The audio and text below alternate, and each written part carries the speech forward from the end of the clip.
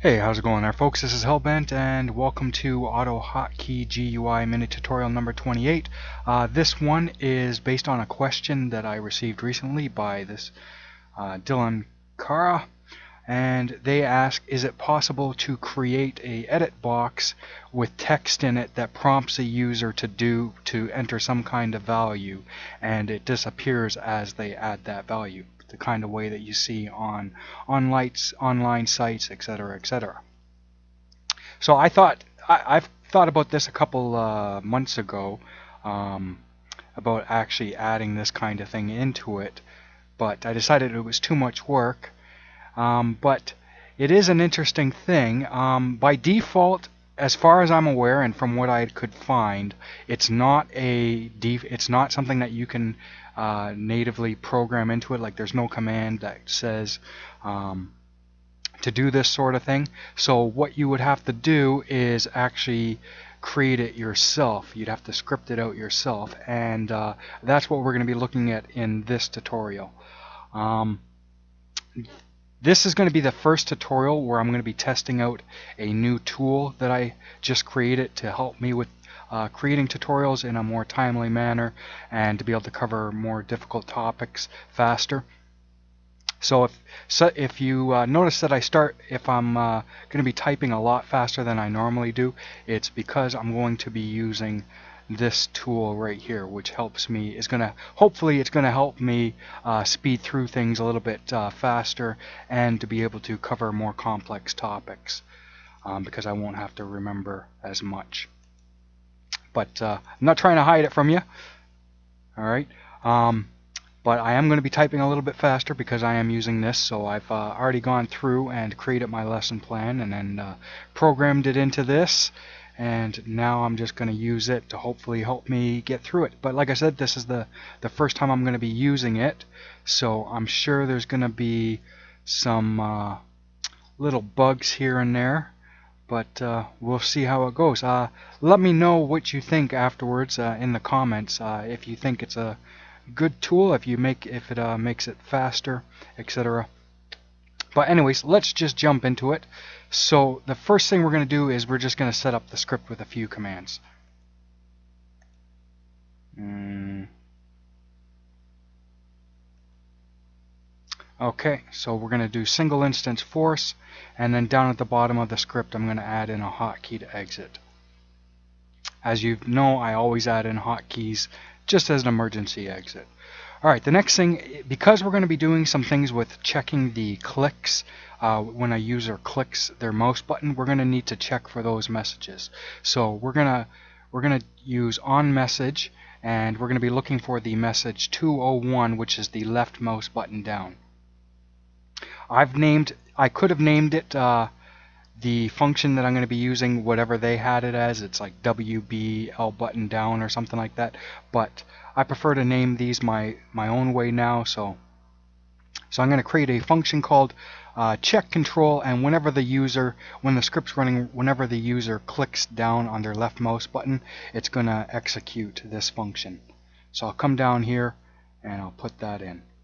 So I can see that my indentation. When I was testing this program, I mostly did my test in Notepad and it doesn't have the same kind of indentation things. Anyways, uh, the next thing is let, us create a GUI.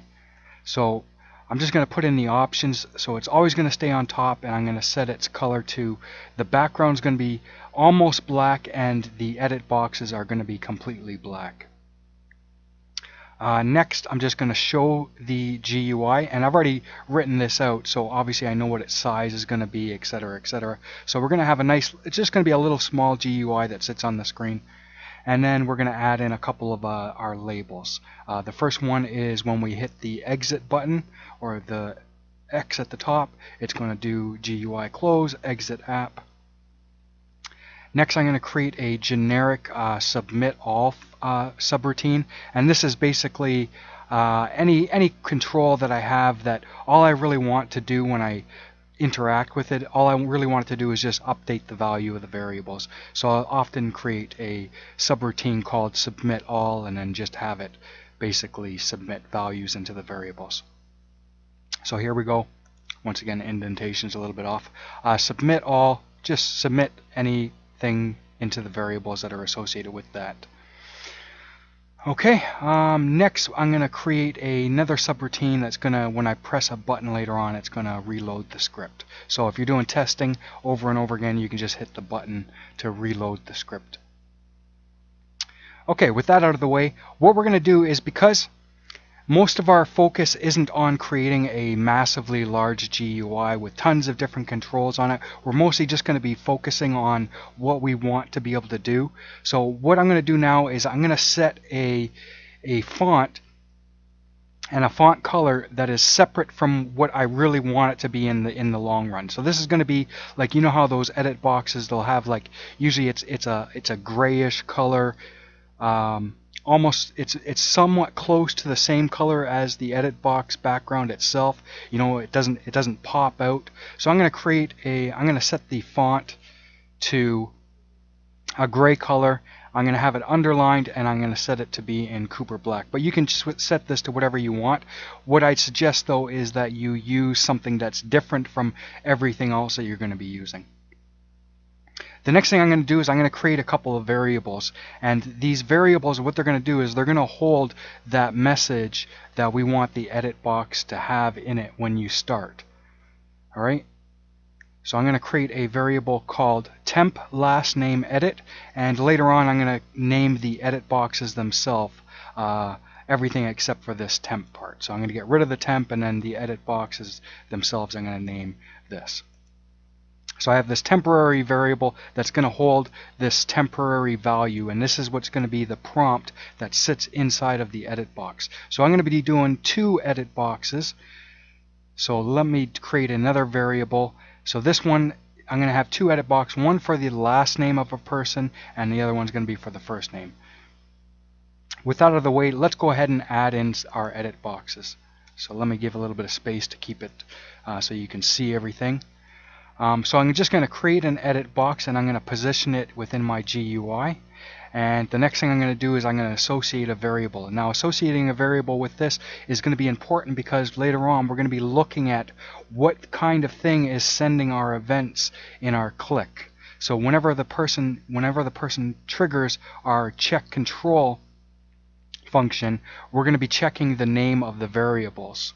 And if they match, we're going to do certain things. So let's associate a variable, and this is going to be our variable for our last name edit box. The next thing I'm going to do is I'm going to have it every time we interact with this, we're going to trigger our submit all our submit all subroutine. And then the last thing I'm going to have it do is I'm going to have it display this uh, temporary variable up here, the contents of that. Okay, so that's our first edit box out of the way. Now let's do that again with the next one. So I'm going to create my edit, position it on my GUI. I'm going to associate a variable with it. And then I'm going to attach it to my submit all label again. And then once again, I'm going to display the contents of that variable up there. Now that I'm done with this, and like I said, this font here is only going to be for this control here.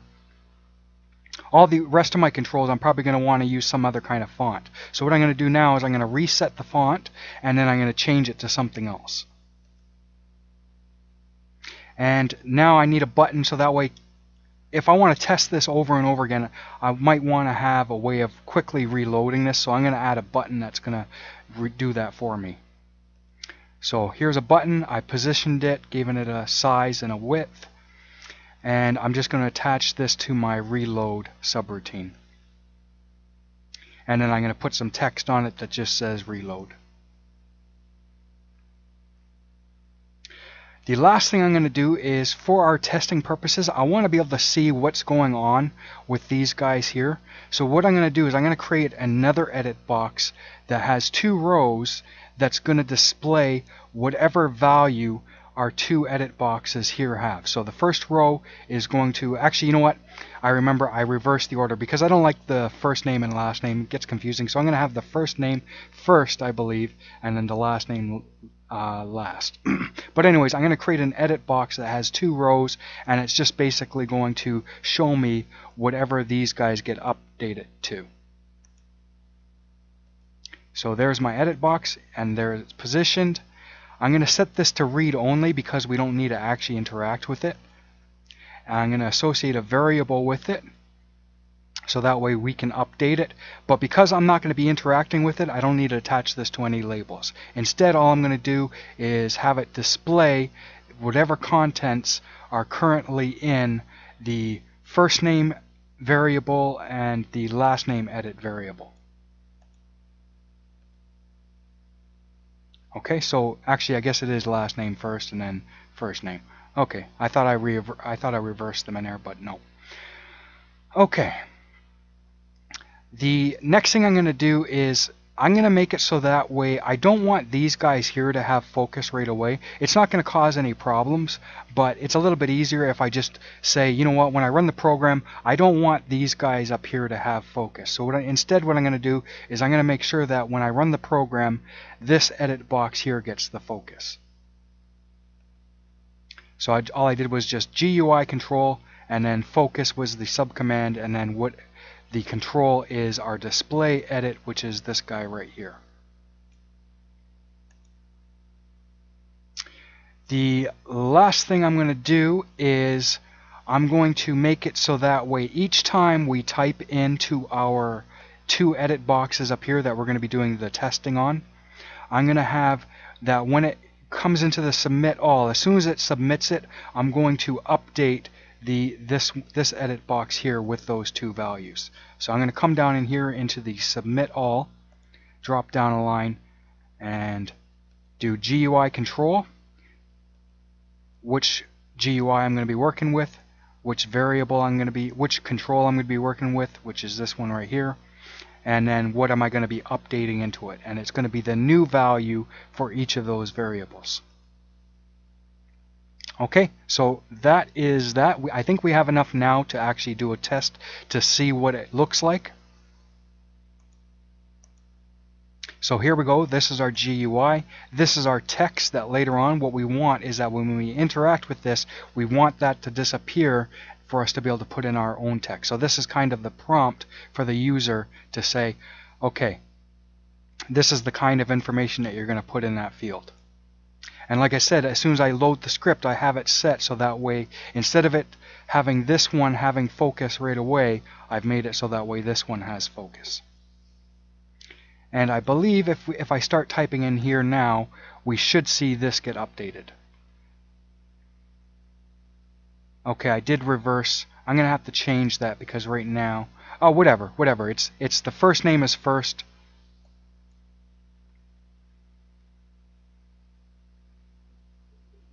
It doesn't matter. The first name is first. I, I did eventually, I, I thought I did change them the order, but I forgot. Okay, so anyways, don't be confused about that. You can change them around up here if you want, if you're confused. So just swap this one with this one, because that's how it is down here.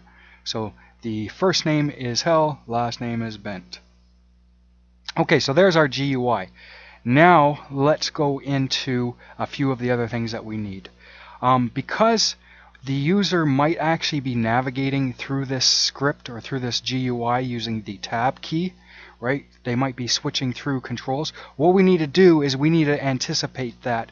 And what we're going to do is we're going to create a hotkey for the tab key, but we're going to leave it so that way if the person presses tab, it's still going to do what it normally does, but we're going to have it do something else as well.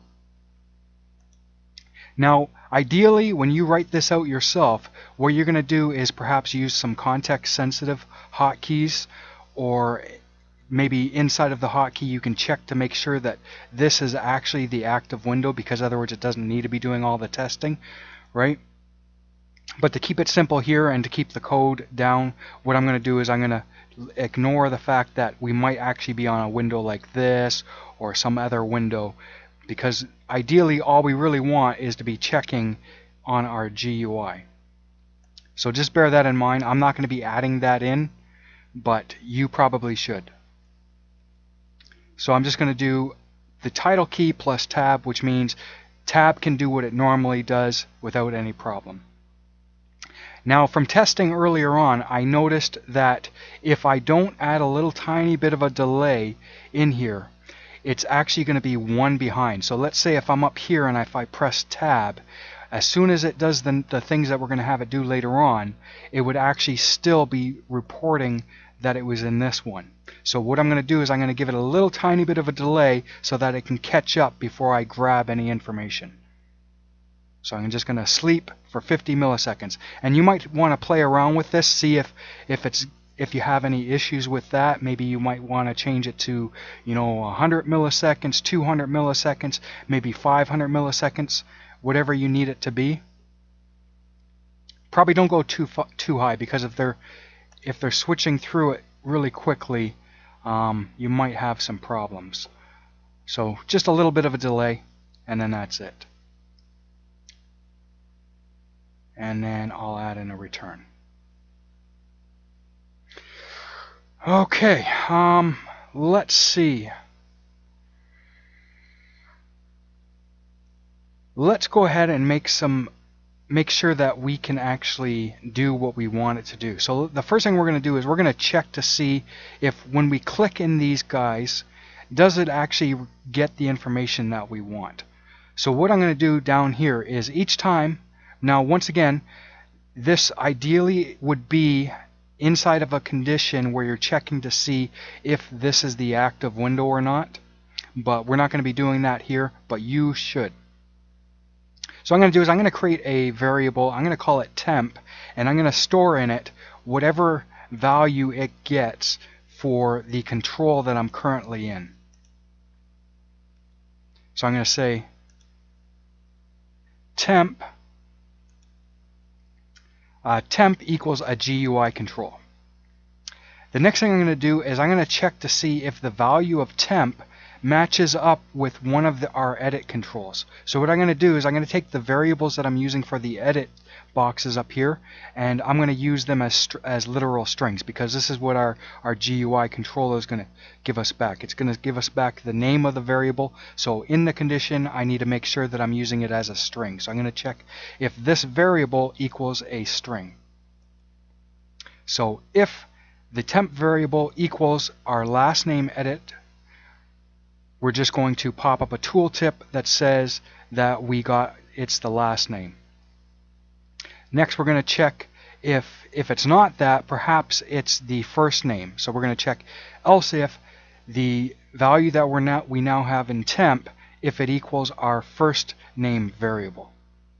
If it does, we're going to display a tooltip that says it's the first name and then after that we're going to have else and just turn off the tooltip. Oh, that's bad indentation. So if I if I click on this one, I want it to say that I'm in the last name edit box. If I click on this one, I want it to say that I'm in the first name edit box. And if I click anywhere else, I want to turn off the tooltip.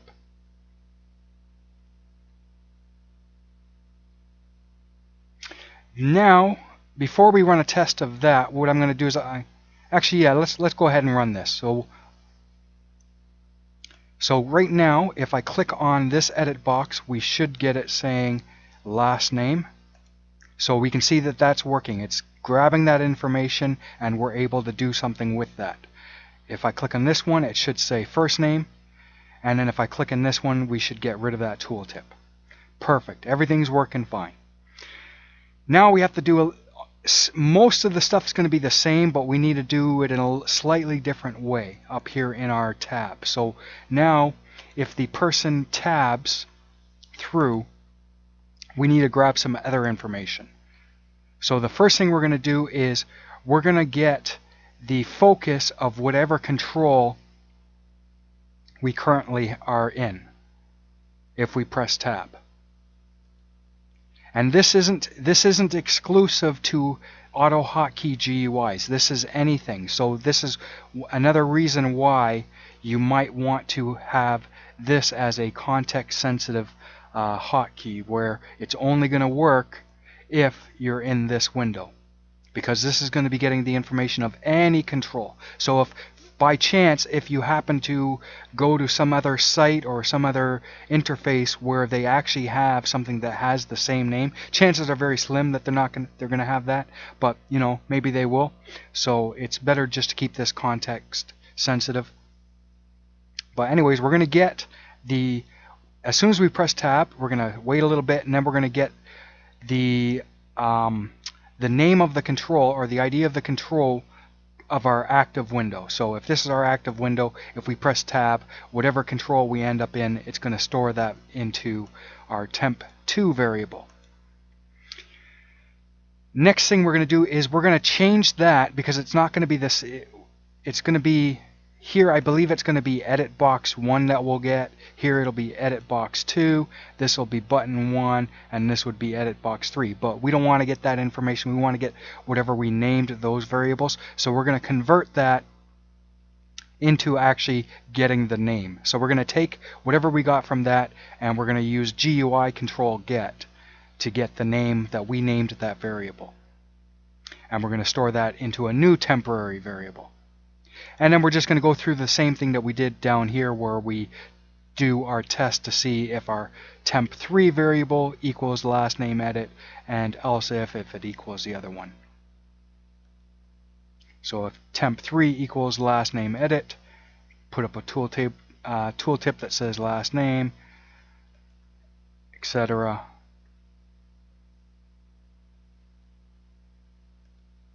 etc. Okay, so we have enough to do our next test. So this time we're going to be testing if we tab through, are we getting the proper information? So I'm just going to press tab and it should jump up to this one the first time. So we can see that it's grabbed the last name info. So we are getting a match. We're getting first name and then if I press it again we should get nothing. Okay, so we can see that everything is working as we expect. So now what I'm going to do is, because we're going to be swapping between, um, we might not want, what we might want to happen is that if they, if they click in here, but then for whatever reason they decide not to actually fill it in, like we're going to get this to disappear, but let's say that they don't end up filling anything in there, what we're going to do is we're going to create a control variable so that way if the the value of that edit ends up being a blank value, we'll just put this text right back in there again. So I'm going to create two variables that I'm going to use as control variables and we're going to use those to, as a second condition that we're going to test. And that'll become more clear as we type it out. But I'm going to come up here and I'm going to create a variable called unchanged last. So if the last name is unchanged, it'll have a value of 1 and I'm going to do unchanged first. So these are the starting values and later on we're going to have add those into here. Um, the next thing I'm going to do is I'm going to get rid of all of these if conditions because we're done with those. We're going to re be replacing them with new new stuff. So we'll work on tab first. Um, and the first thing we're going to do is we're going to check to see if, just like before, if when we tab to it is the name that we're getting the name of what that we're looking for, but we're also going to check to make sure that our our control variable unchanged last, we're going to check to make sure that it still has a value of 1. Okay, so if these two conditions are true, then what we're going to do is we are going to erase the text that we have in here. So GUI control, we're going to influence uh, this control and we're going to say put no text into it. So we're going to clear it out. The next thing we're going to do is because we're going to be typing in our what we really want to be typing in there, we need to change the font. So we're going to reset whatever font we had before. We're going to first thing we're going to do is we're going to clear that out. The next thing we're going to do is we're going to change it. So in this case, I'm just going to make it change it to aqua but I'm going to leave all the default settings so I don't I don't remember what the default uh, font type is and etc etc but there's a default uh, font it's not this one here It looks more like this. But anyways, we're going to change it to that. And then what I'm going to do is I'm going to update that control with that font. So by using GUI control font. So GUI control, which GUI am I working on, and then the subcommand is font, and which control am I working with, and I'm working with this one up here. The last thing I'm going to do is, because these two conditions were true, I'm going to change our control variable to a new value so it can't come back into here anymore. So now, the next time it loop, next time I click on that, it can't come back into this, even though it's going to be the correct edit box.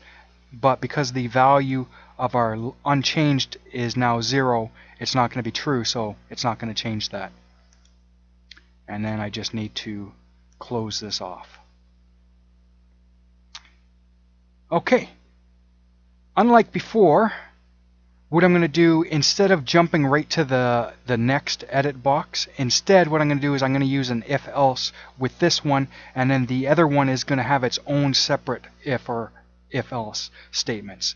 So we're still going to be working with our first edit box, and this time what I'm going to be doing is I'm going to be checking to see if our control variable equals 0. So the next time, after we've changed this, the next time we click on it, if that value now equals 0, and if the value, if there's nothing in here, like if it's completely blank, then what we're going to do is we're going to replace it back to being like it was before with, with our, our prompt text. So if this isn't true, then we're going to check this one. If the value of unchanged last, which is our control variable, equals 0, and the value that's stored in this edit is null, or if it's blank, if there's no text in there, then what we're going to do is, once again, we're going to first change the font to our the font that we're going to be using for that we used up here to display. So we're going to be using this same font here. Or whatever font you want to use. And then I am going to update that font for that control. And then the last thing I'm going to do is I'm going to put back into this edit box the value that I have up here. Just like we had it at the beginning.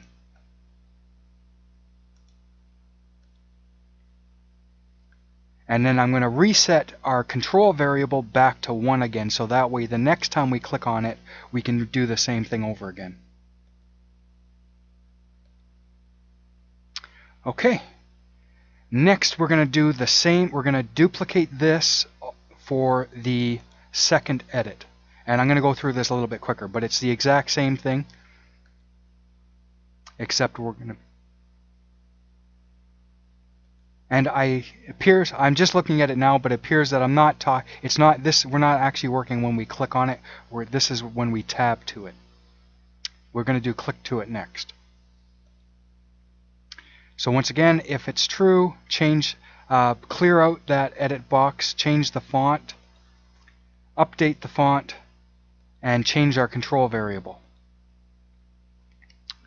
Else if if the control variable now equals 0 and the, the edit box is still blank, reset everything back to the way it was when it was at the beginning. So change the font and update it back to having the value of our temp first edit. Oh, bad indentation. We're going to once again reset our control variable back to 1 so that way that this can be true again. And that is that's it for that. So we have enough here to actually do a test of that. So this is if we press tab now. So if I tab to that first control, it should clear that out so we can see that it's completely empty now. And if I type something in, it should be in a different color. Okay, perfect. Everything's working exactly as expected. But what if they didn't add something here? So I'm going to erase this. And the next time I tab to that, it refills it back with our, our prompt text. If I tab back to it again, it'll clear it out. I can type in it. And if I come back to it this time, it just stays. Okay, so that's that. Now we can do the same thing that we did up there, but with our other variable sets down in here. And once again, because we've just gone through this whole process of talking about everything that's going on, I can go through this really quickly. So the first thing we're going to do in here is we're going to check to see if the if our temp variable equals the control we're looking for and if our unchanged last equals 1. If it does, we're going to clear out the edit box. Then we're going to change the font. We're going to update the font. And we're going to update our control variable.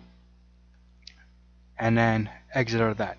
Else, if, if, this, if this isn't true, then check this.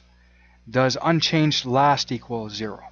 If it does, and if it's null, if it does, change the font. Update the font. I mean, change the font. Up Now update the font. Uh, and put back into our text that says enter your first name. And then reset the value of our control variable back to 1 so that way the next time it goes through it can be true. And then we just have to do that for our second edit. If the first name and blah blah blah, change the font, update the font, and change our control variable. Else if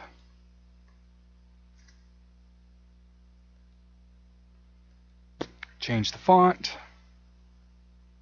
and put our text back in there and change our control variable. And that's it. That is our entire script. So let's have a run. And now, if I click here, it gets rid of the text. If I click here, it gets rid of the text. And that's it. If I tab to them, it gets rid of the text. I can type something in. I can tab to the next one, type something in. And if I tab through them again, it just stays the same. If for whatever reason, if they decide to delete it, as soon as they move away, it fills it back with our prompt text. And that's it. I hope you enjoyed. Um, I think that covers everything. If you have any questions any about what we talked about, uh, let me know. Or if you have any topics that you'd like to see covered in a future tutorial, uh, just leave me a comment down below. Anyways, have a good evening and see you on the next one.